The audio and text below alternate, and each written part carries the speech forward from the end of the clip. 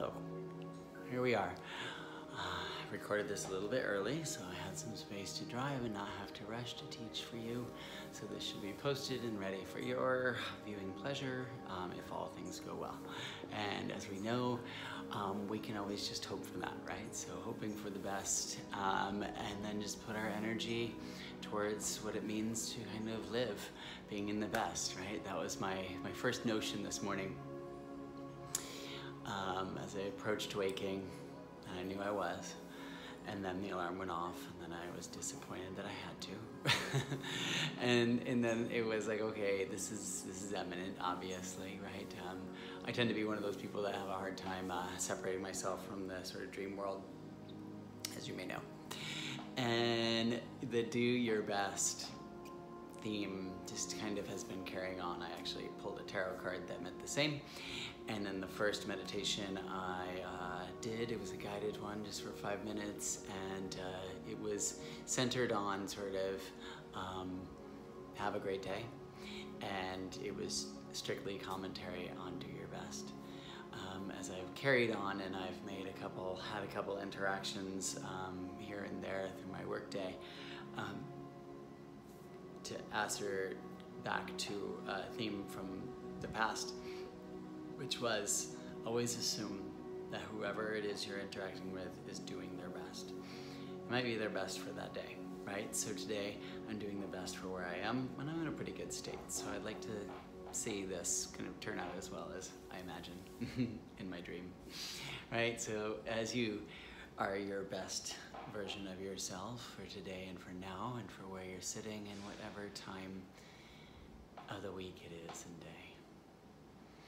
Right? There's everything here that is required for you to be you, right? You have your breath, you have your heartbeat, right? You have your consciousness. And though even those basic precepts may waver, right? Our breath changes its, its pace, its tempo. Our consciousness goes in and out and sub and altered. Right? Our, our heartbeat, right, moves in sort of rapidness to, to meet our challenges and it changes and then it might even do that based on our thoughts and what's going on in our emotions. So as you see that even your heart rate is doing its best to help meet the needs, to be where they are, right? And to, to really sustain life um, in the best way possible, which is to be present, right? Be present to change, allow it, and meet it, right? So that's what we'll do today. To change, to dreams, to the best, right? Hands to your heart. And bow gently to yourself to all hearts. We'll start this thing, right? So again, we're in Friday Flow. Um, so we haven't taken Friday Flow in a while. Here it is, right? So um, I'm gonna have us start at one end of your mat facing forward. So this is to my right, right? So it might be switched on your phone, your device, your camera, however you're watching this. Take your arms up to the sky and then sit into a chair. You come up to stand, you're gonna bring your right knee up to your right elbow, and then very gently, you're gonna step out to your right. So now you're in a wide straddle, pull the heels in, bend the knees. All right, so just preparing the hips. We're actually gonna take a pretty, pretty big journey through the hips and through that, that connection. Come back up, same way we were. Sit to chair. Right, take a forward bow. Pretty nice. Drop the head, and then come all the way up to stand again. Arms up, and then sit to chair. Okay, and come up, left knee bends, lift it up, touch it to your elbow. Right, I'm poorly placed on my mat. Hopefully you've got space for it. Step it out to your left. Take a wide straddle, right? So heels go in for this, so the knees can go out. It's uh, creating space in your pelvis. And the best part of sort of doing your best is that in yoga, it's all modifications, we're all making changes, and there's no way that you can get stuck in anything because you're you're in the, you have the power to change things, right? Come back into the right leg, left knee lifts. And then sit to chair. This one is a forward bow. Right, I'll stay at this end of the mat. You can be wherever you are. Okay, inhale to a flat back. Exhale, sit to chair. Right, inhale up to stand. And then right foot comes off the floor again. Bring it up, touch your right elbow. Right, and then you're gonna tuck this under, back behind you, and then just tap it over to your left. Right, both arms go up to the sky. Okay, come back up, right knee lifts, back up through the middle. Take it to sit, and forward bow. Okay, this one is a little bit different. You're gonna lean into the hands, left foot off the floor, left knee bends, and then open it out like a hatch. Kick it out to the side, and then step it. So you step into kind of like this lunge towards the wide side of your mat. Okay, you're gonna bend that left knee, and you're gonna sit over into that left foot. Awesome. And then when we come back up, this is our reverse, right? Straighten through the left leg, right leg lifts, then bend the knee, close the thighs, and place the foot. Okay? Bend the knees into chair pose. When you come up, it's left foot off the floor, left knee lifts. Widen it out to the left. This one's going around, back behind you to step over. Right, so it's, a, it's like a janky, twisted warrior five lunge. Arms are up. Right, left leg is behind you. You're gonna lean back into that right leg, come back up around through that left knee, and then back down to sit. Awesome. So this one's kind of a cool one. Um, let's see how this works out. Come up to stand, right foot off the floor, right knee lifts, right elbow, right knee touch. Widen the knee first, right? So we're starting to get a little bit more spaciousness in the hips. Reach the foot out, step it over. Here's your straddle squat chair. Now you're gonna shift into your right leg for a dancing warrior. So right knee bends, left leg is straight. And we're gonna come back up through the same path that we came into. Straight legs, bent knee squat. Back shift into your left leg, up through the right knee. Now you're gonna go around you, around, behind, under, and right knee lands to the outside of your left foot. Right, sit for a twist. Right, so a little Matsyendrasana twist. Fan blowing on me. right, nice lift of the chest. Right, this is a weight shift back to your left foot. Left knee, left heel, all the way up to stand. Right knee up, and left leg lowers you down. Sit to chair, straighten to forward bow. Pretty good. Okay, right here, same right leg, right knee bends, open out, kick the leg to the right, and then bend the left knee. Sink it into that little dancing warrior, little lunge pose shape. All right, you're gonna come up through straight legs. So now you're in a wide straddle, forward bow. Head drops. Pretty nice. Okay, inhale to a flat back. You're gonna bend your right knee, sit into that right leg, and shift the right leg, pick up the left, bend the knee, close the leg, close the thighs, left foot to the floor. Sit to chair, and come up to stand. Reach up to the sky. Whew, pretty good. All right, right here, left knee bends, touch the elbow. Right, widen the knee, out to the left. Kick it over, and step it. Here's your wide straddle, heels in, knees bend, sit. Not bad, right? Now you're gonna shift back to your, or over into dancing warrior, right leg straightens, right? So you're sitting into that left heel, you touch the floor or not. Looks pretty good, right? I'm starting to feel those hamstrings. If you start at the gym this week, um, you're with me. And then you're gonna come back to your little squat. We're going to the right leg, left knee lifts, get balanced. left knee is gonna go back behind you, around, to land to the right of your right heel so you can sit and take your twist. Right, so feeling those feels of getting back to lifting heavier weights or exploring all the things that can happen in the gym, it really shows up in your yoga practice, right? So we notice that if we didn't do yoga, those things that you feel immediately once you start doing this and you didn't feel when you weren't doing yoga, you really notice those things could get really bound up. Step into the right leg, left leg, ooh, around, up to center. Right leg lowers you, sit to chair, and straighten through the legs. Forward bow. So this is a cute one right here. There's a little flat back halfway. Right knee is gonna bend, right? Open the hip and kick the right leg out to the right. This is gonna bend the knee again. You're gonna step it back and around you towards the mat behind you. This is a pretty wacky little sort of change of events. Now you're gonna bring your hands towards that left foot to the back of your mat, and here you get a three-legged dog. Okay?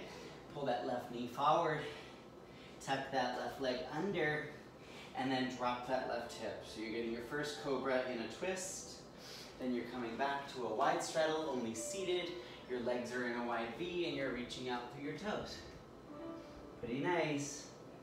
This is quite a tangle, right? So we come back up, you're gonna pull that left knee in, drag it around to meet towards your right leg, so you end up in this little seat with a left knee bent. Right? You're gonna shift into the left foot so that you can push the floor away and lift that right leg, right? Get it to hover. I'm virtually keeping a vertical left shin, right? So my left heel up to left knee, my butt's not on the floor so I can push into the left heel to step that right leg back. First I get to lunge, then I come up to warrior three, and then when I come up to stand, I'm gonna come up through my knee and then here's a little spin. Over the right shoulder, I'm back to the center. Sit to chair and touch to the floor. So what we did is just kind of um, a very sort of crafty way of, of skipping a little vinyasa and moving through some twists and turns that keep us kind of surprised by our mobility. And, um, and that's the part of yoga that I actually am most sort of inspired by myself. So not being so traditionally stuck in um, old patterns. Not that they don't still serve, but um, for me, right? So me for me, for you. Left knee bends. Open that left knee out to the left. Kick it out. Straight leg. 90 degree legs.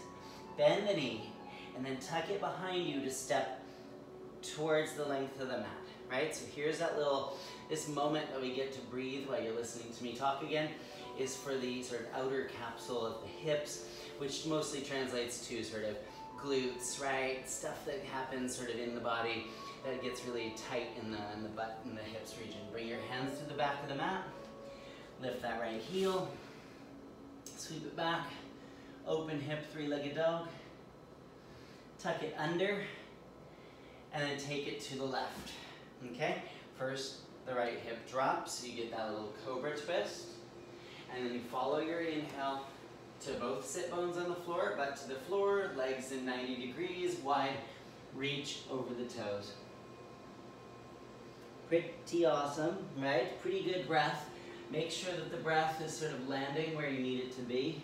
When you come up to your seat, it's right knee bends, and then bring it around and stamp the foot to the floor, okay? So now it's left leg straight, right knee bends, construction out my window, lean into that right foot, butts off the floor, right? And just play with it for a moment, right?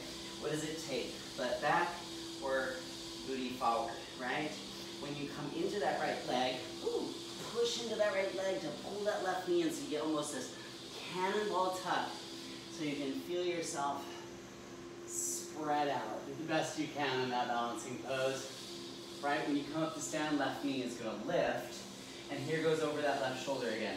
Over the shoulder, a little twist to turn, and you get caught on the mat, and a sit to chair as you forward bow. So I just kind of gave you a lots, lots and lots to work with. So we're gonna put that all together now and, um, and see how it works out. So I'll try to be um, more uh, clear. Inhale to a flat back. Exhale fold. Right, take a moment to cherish the space that you're capable of tapping into, right? Some of those sort of finer points, you may know a few people in your life that are not as flexible or have access to kind of that brain-body relationship. So feeling yourself feeling the way you do. Okay, Inhale, come all the way up. Arms reach. Left knee lifts. Tap it to your left elbow. Left knee goes wide. Kick it out. And you're going to step out. Here's your wide straddle. Right? Pull the heels in. Here's your bent knees. Awesome. Very good.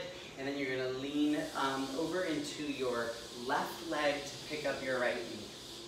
You're going to tuck that one underneath you and around so that you come knee to floor to hip to twist over that left shoulder. Okay, Matsyendrasana, chest is lifting.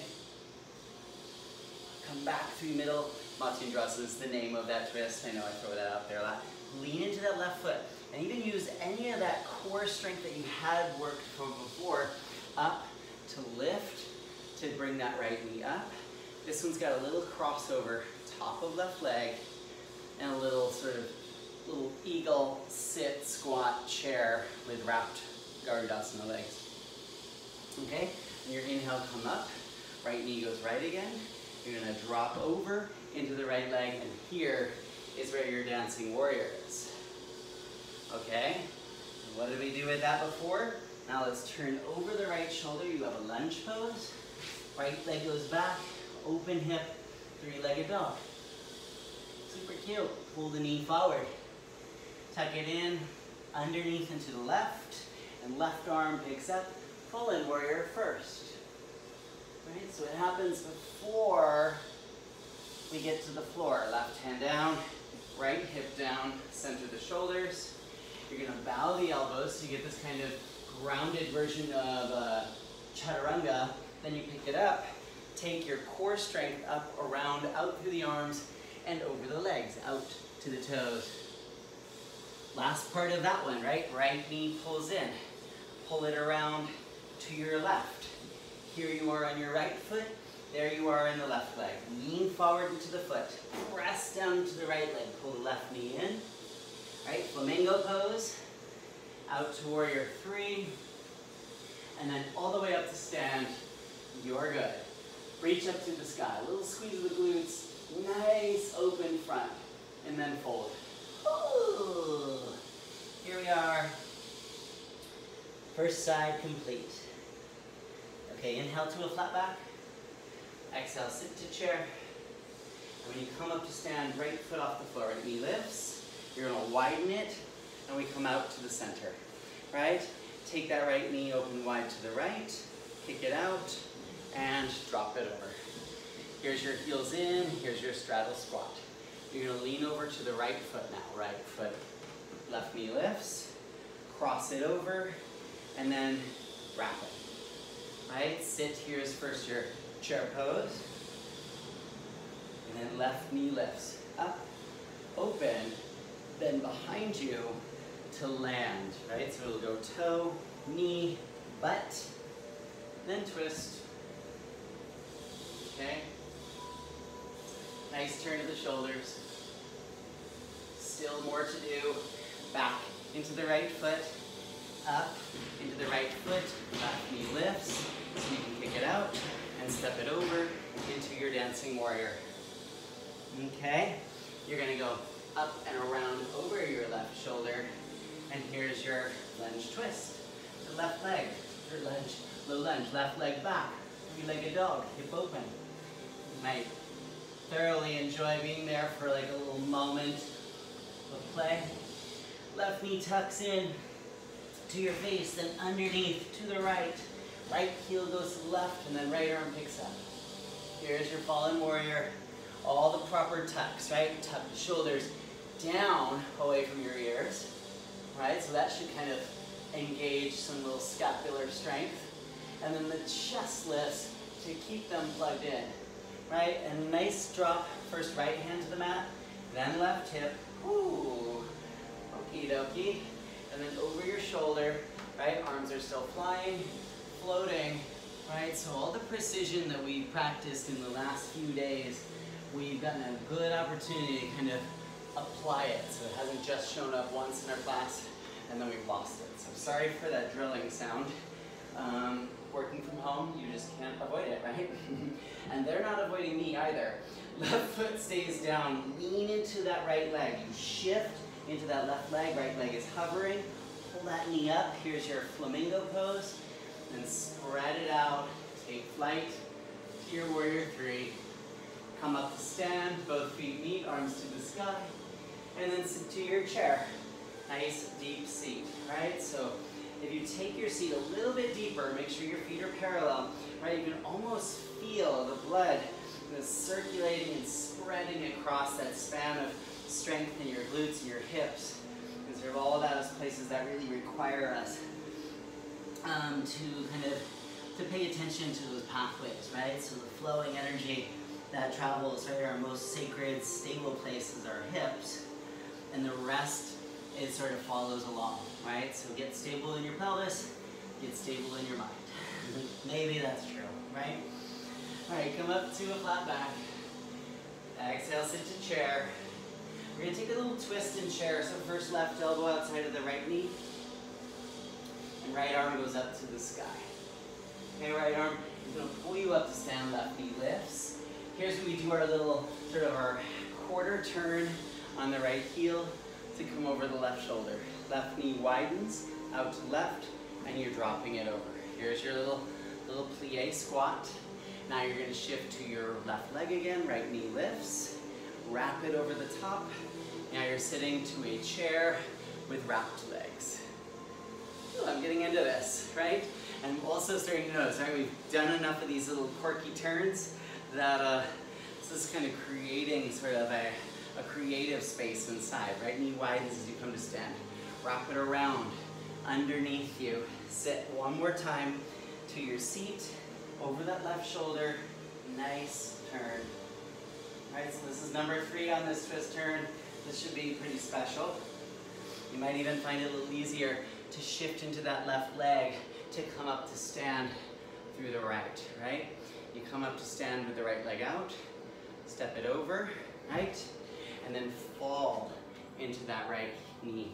This one goes even further. Keep going into the heel. Touch the floor if you need it. Don't if you don't. Take your butt to the floor. Take your right knee in and then turn over your left leg. Ooh. Right? Nice. You're gonna come back up through your right knee, right foot up. You're gonna lean into that right foot, come up and there's your dancing warrior then over to your lunge to the right foot. Right leg sweeps back and open. Left heel turns left.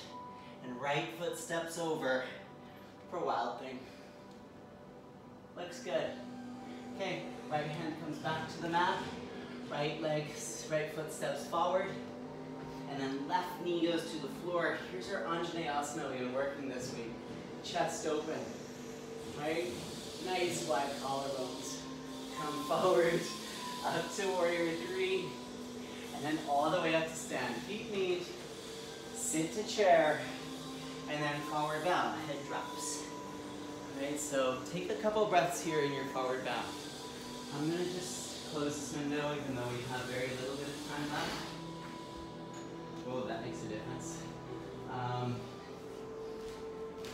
let's just say that drill is doing its best to get in the way of our practice. okay, inhale all the way up to stand. Arms reach up. Last side. Sit to chair. Take your twist. Left arm goes up. Awesome. When you come up to stand, right knee comes up, you come to center, and we're quarter turning over your right shoulder, facing to your right. Right knee widens, out to the side, and you're gonna step over into that little straddle squat. Right, you're gonna lean into the right foot now. Left knee lifts, cross over, top of right leg, sit to your Garudasana chair. So you can see the back of me, but you're not really looking anyway. You know what you're doing. You're feeling you, not really needing to see me. Right, that's about three breaths there, right? Left knee comes up to the left, from behind, around, to land, foot, knee, butt. Sit for that deep twist. Wow! pretty good adjustments go on in these shapes. Come back to the right foot. Lean into it. Come up around for the left leg. Kick it over. Step it. And this one is a dancing warrior. To sit and sit. And then nice streamlined sit bones. Right butt to the floor. Left knee tucks in. So my bent left knee is towards my right knee. So you get this cute little forward bow into that straight right leg. Right, every breath, actually the inhales kind of give you this heaviness in your upper body, right? Expanded and full, and, and that uh, heaviness is, is abundance. It's not something that's weighing you down and burden you. It's actually to benefit you. So when you exhale, right, you have a deeper sense of the bones as you fold into that leg, and that feels good, and it feels right, okay? It is. Come back up. left knee, bent knee, comes back up so you can turn over your left shoulder. You shift into the left leg. You wrap this around to your low lunge. And then you're to sweep that back to your three-legged dog. Open hip. Right? That open hip turns to step. And we go wild thing. Right? So nice to reach out through the toes. So nice to see the hand, the fingers, the sky. Left hand comes back to the mat, left leg up. Left foot's gonna step forward and right knee goes to the floor. So right here, we have an up, or an Anjaneyasana, lean back into the toes, up through the chest. Okay, come forward into that left foot, come up to warrior three, and then all the way, feet to the floor, arms to the sky, and a sweet bow to yourself, to your practice, to your best. Wrap your arms around your legs. Hold onto the legs and close your eyes, taking breath together. Hold the legs like you hold love. Hold the legs like you want to receive it, like you give it, what you mean when you're having that interaction, what it feels like to honor also the best practice that is possible inside of you. So, right, the fidelity of both faith in your practice as well as taking care of yourself. So what you can do with that. All the words. Okay? Inhale, all the way up. Hands together at your heart. Let's take one more seat together to close. So you come to the place where you're nice and tall. Your hands can be rested on your knees or at your heart, and eyes are softly closed. There's a brightness, not just that you see and feel light from behind the shade of your lids, but the brightness that here is kind of come from our stir, our asana, our chi, our energy. What I would like to also describe the sensation that we're having right now is a feeling of best, right? There's enthusiasm, there's, there's encouragement, right? There's giddiness.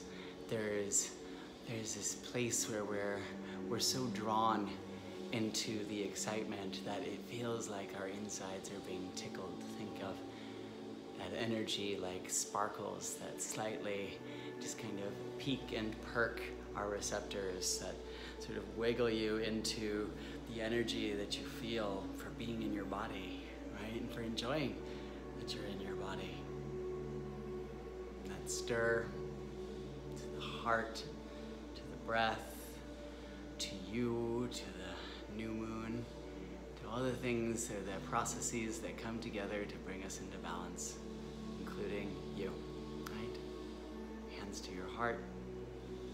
Now gently to that space, to all spaces of the heart. Release your hands and open your eyes. Um, stay cute. Talk soon. Happy holidays for sure. Um, and I'll see you tomorrow at noon. Right? Zoom, info and bio on Instagram. Mikee Yoga. Out.